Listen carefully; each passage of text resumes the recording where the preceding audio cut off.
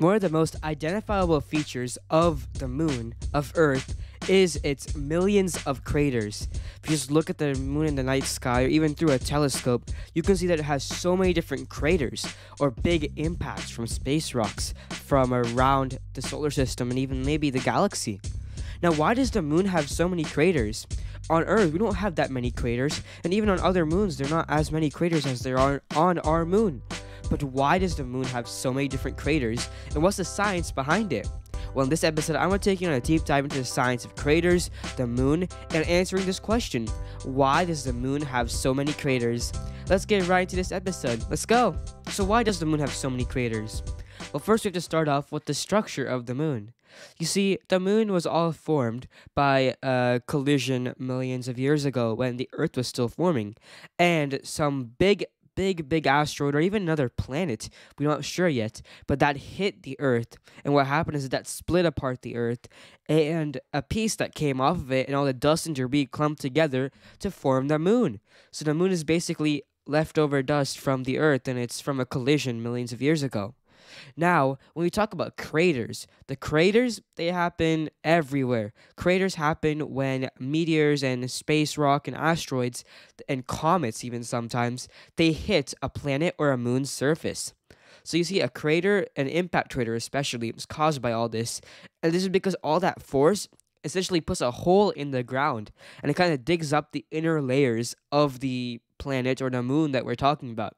So it basically puts a giant hole in the surface of the planet or moon, and it's there for millions of years. Now, why does the moon have so many compared to Earth and maybe even other planets? Well, first I have to say that in the solar system, Mercury and the moon have the most craters. Yes, Mercury and the moon, the first planet from the sun, and our own moon. Now, why do they have that? Well, the first thing is because of the surface itself. You see, the moon does not have tectonic plates, meaning that the plates that the land on the moon does not change, it just stays as it is. But on Earth, it has tectonic plates. What happens is that even though Earth was pelted by all these asteroids and meteors and everything, the same as the moon was, all these craters that were that happened when the Earth was still forming, they all just went away because over time, Earth basically recycles its land. And because of volcanic eruptions, tectonic plates, new land forming, land getting destroyed, everything is changing. Earth is never, never still. And the land that we're sitting on right now, even if you're watching this video right now, that means that the land is still moving under you because of the tectonic plates and everything. And this is why these old craters that were there millions of years ago aren't there anymore because they get recycled over time. There are only a few remaining craters from fairly recent, even though they're fairly recent, maybe millions millions of years. That's basically a short amount of time in the lifespan of this of space in a timeline of how long our planet and how long the universe existed. So that's why we still have a few craters that are around to this day, and these craters are very big tourist attractions. You should probably go check them out while you can. Now, the moon does not have tectonic plates, so all the craters that happened millions of years ago, they're still there on the moon today. Also, there's no erosion or natural weathering and erosion or natural movement of materials on the moon to get rid of all these. That's why the footprints from the first astronauts on the moon are still on the moon. And that's why all the rover tracks and everything are still on the moon because there's nothing to wash those away, nothing to blow those away because of erosion. That's the same with all these craters that form. Now, another big reason is because the moon doesn't have an atmosphere. So, an atmosphere is basically a giant black blanket of gases in above the Earth and above any other planet or moon. So, the Earth has a very, very thick atmosphere. That's what keeps us alive on a daily basis. But the moon does not have an atmosphere, and it's very, very thin, if not non existent. And since it has a really thin atmosphere, what happens is that the atmosphere basically provides cushion for the Earth. You see, when a space rock or something enters into Earth's atmosphere, it starts burning up because of all that air that's around it, it starts creating friction and air resistance and it starts burning up. So that's why, even though you might get millions of meteors today, none of them actually hit Earth in like big, big chunks because it starts breaking up, it starts burning up in the Earth's atmosphere before it can reach Earth.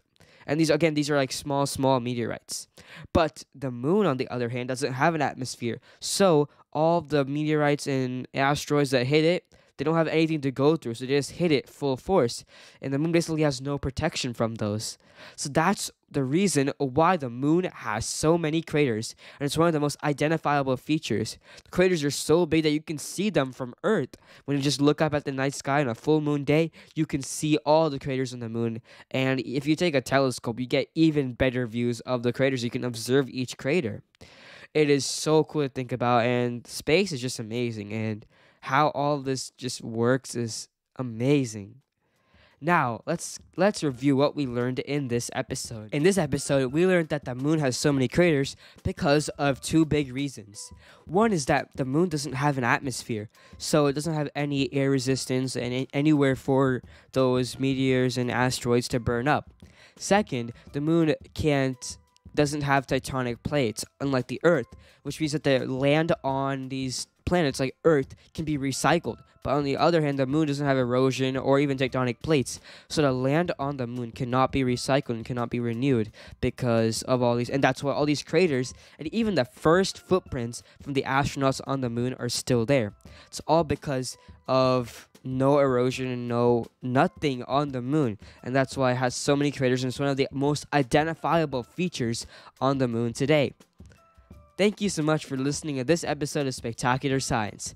Spectacular Science produced and hosted by me, Akshay J. Raman. Our theme song and additional music are by Chan Ramachandran. Please visit my podcast website, spectacularsci.com, to find interactive activities, articles, and blog posts. That's spectacularsci.com. Do you have a science question you want answered on a spectacular science episode and get a special shout out? Well, grab an adult and head over to spectacularsci.com slash contact. There you can find a form where you can send me your amazing science questions. Thank you so much. Also, don't forget to subscribe to this podcast wherever you're listening right now.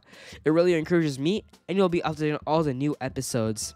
Subscribe and share this podcast with your friends and family. Thank you so much. Thanks for listening, and we'll see you on the next episode of Spectacular Science next week. Keep thinking about science.